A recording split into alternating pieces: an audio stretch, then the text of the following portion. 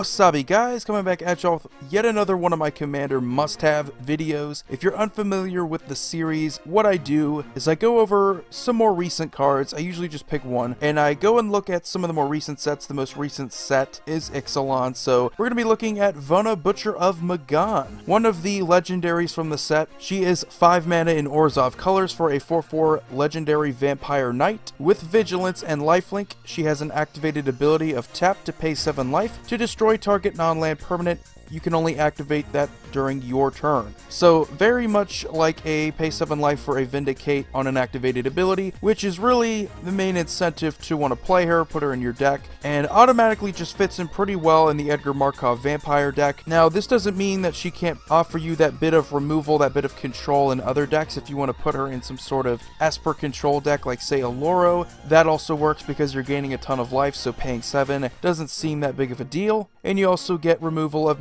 non-land permanents. Well as of the making of this video, she is a little over $2 for the regular non-foil version. The pre-release version is around $10 for that foil, and the regular foil from the set is around $7, so you can expect there's a little bit of a premium there. For the foils of Legendary Mythics, they tend to be a little bit more expensive. As a commander, I think she has potential. I think if you want to go with 1v1 duel commander, having the potential to each one of your turns destroy their best non-land permanent is very strong, and it's going to help you keep your opponents down. However, I really don't think she has the best potential as a commander. I think she's much better as one of the 99 to fit in as one of the vampires in a vampire deck or to fit in as just more removal on a creature, which is always underrated. If you can get your card draw, if you can get your land drops from your creatures, if you can get your removal from your creatures, your consistency in your deck is going to be a lot better. You're going to afford to do a lot more with a lot different cards. You don't necessarily have these many holes in your deck where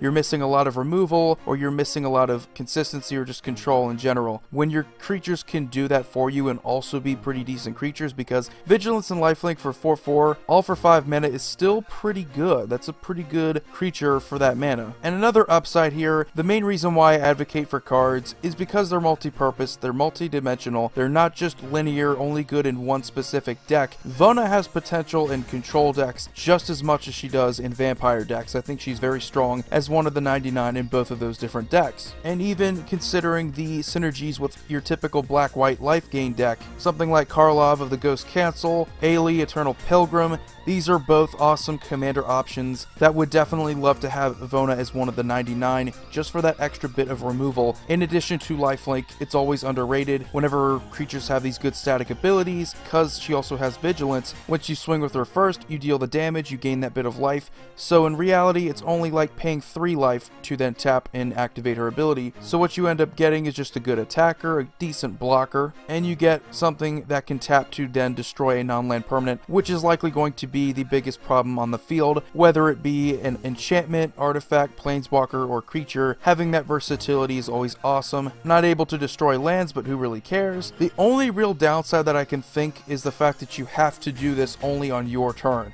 I obviously like keywords such as flash. Having the advantage of timing on your side is always something that I find important it helps you play the game. So if there is any negative aspect to this card, is the fact that she doesn't have the ability to give you that advantage when it comes to timing, being able to respond to what your opponents are trying to do. I always think it's better if you can respond to what your opponents are doing, you don't really need to worry about them as much. So when it comes to control, I think that she's a little bit weaker in that aspect, but if you're willing to compromise and say, hey, I have a pretty good creature as one of the 99, maybe I can just throw in some stuff like Anguished Unmaking, let that serve as my instant speed removal, and this can be sort of a backup just sitting on the field whenever I want to use her on my turn. I can then do that. And another good point here is that she only says activate this ability on your turn, which means that you can still use it at instant speed. It just has to be on your turn. So if your opponents are trying to do something on your turn, maybe you could respond, but when it comes to responding to your opponent's stuff, most of the time it's going to have to be on their turn,